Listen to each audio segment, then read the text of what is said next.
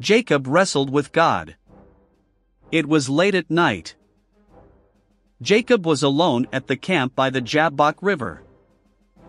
He was physically tired fleeing from his father in law Laban, but what he felt that night was more than physical exhaustion. Twenty years ago, Jacob left his home in Canaan and went to Paddan Aram. He had deceived his brother Esau and their father Isaac. He cheated Esau of his birthright inheritance and stole his blessings from their father.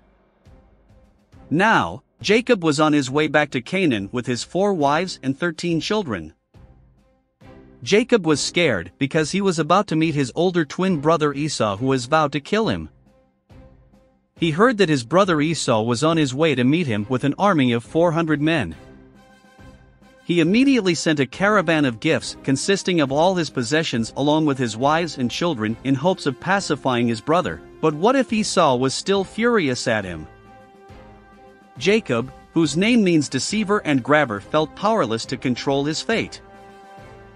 He was too spent to think and do anything anymore. What Jacob did not know that night was that his real struggle was about to begin. A mysterious man came and wrestled with him until the dawn began to break. Jacob wrestled back. When the man realized that he could not win the match, he touched Jacob's hip and wrenched it out of its socket. Then the man said, Let me go, for the dawn is breaking. But Jacob said, I will not let you go unless you bless me. What is your name? the man asked. He replied, Jacob. Your name will no longer be Jacob, the man told him. From now on you will be called Israel, because you have fought with God and with men and have won. Jacob insisted, Please tell me your name. The man replied, Why do you want to know my name? Then he blessed Jacob there. Jacob knew he had struggled with God. He named the place Peniel, which means face of God, for he said, I have seen God face to face, yet my life has been spared. The sun was rising when Jacob left Peniel.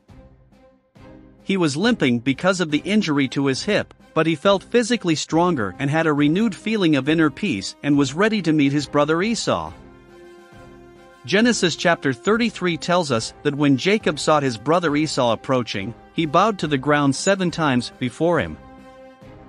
Then Esau ran to meet him and embraced him, threw his arms around his neck, and kissed him. And they both wept. Esau also refused the gifts that Jacob offered to him, telling Jacob to keep them because he had enough for himself.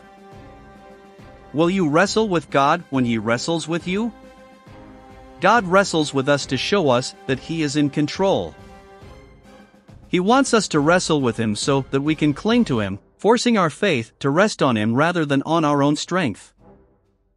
He allows us to prevail with Him through our persistent and fervent prayers. God gives us more blessings when we wrestle with Him because we focus more on Him than on our own selves. Wrestle back with God in prayer, cling to Him, and do not give up. Do not let him go until he blesses you. He loves blessing people with tenacious faith. You may not be physically limp, but your proud self will limp because it will be stripped of its sense of superiority and self reliance. You will come out of the wrestling match with God a transformed person with a renewed mind and a humble spirit. Friends, the blessing is coming, so be ready for a wrestling match when God calls you to wrestle with Him in prayer. The Apostle Paul in 2 Corinthians 4 8 to 9 encourages us with these words We are pressed on every side by troubles, but we are not crushed. We are perplexed, but not driven to despair. We are hunted down, but never abandoned by God. We get knocked down, but we are not destroyed. Blessings to you all, in Jesus' name.